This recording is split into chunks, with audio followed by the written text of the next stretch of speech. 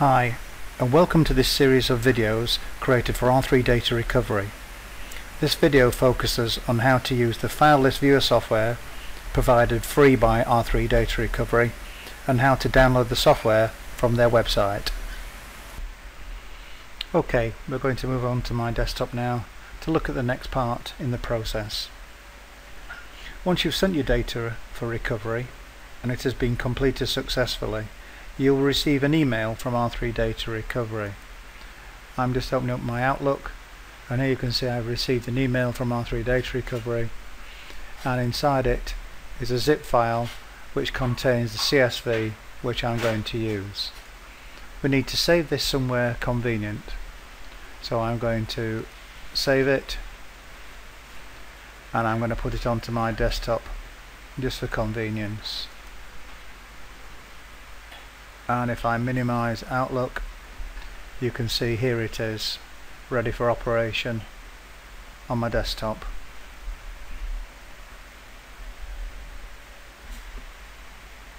Next you will need to download the file list viewer software from the R3 data recovery website. R3 have provided a link in the email that they send to you. I shall click on the link which will take me straight through to the R3 Data Recovery website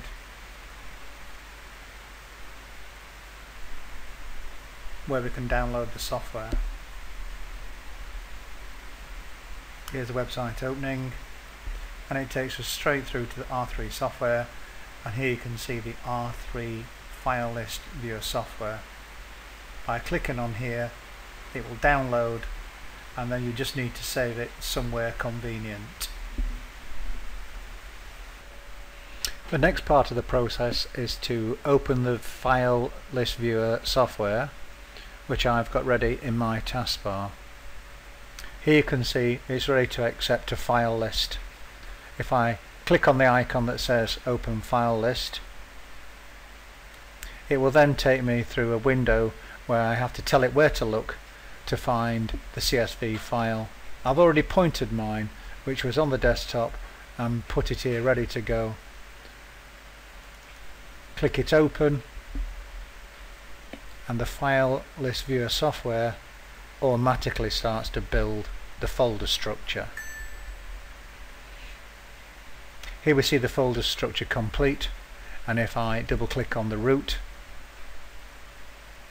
and then into my folders here we can see the folders which have been recovered. You can then start to drill down to the requirements of yourself depending on which files and folders you wish to look at. So if I wanted to look at users I can click in users go down into my administrator and you can drill down drill down until you find the appropriate files and folders. Once you're happy with the data and the files that are inside the folders it's then simply a matter of clicking on the approval this will automatically open your email client my default is Outlook